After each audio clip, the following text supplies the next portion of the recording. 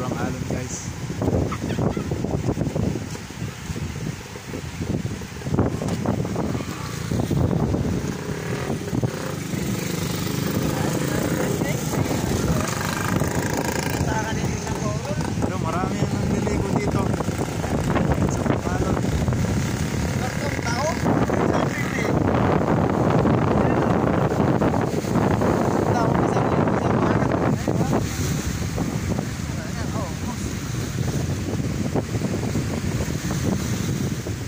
guys kahit umuulan kahit maalon marami pa rin uh, naliligo dito sa patikul sa Mobo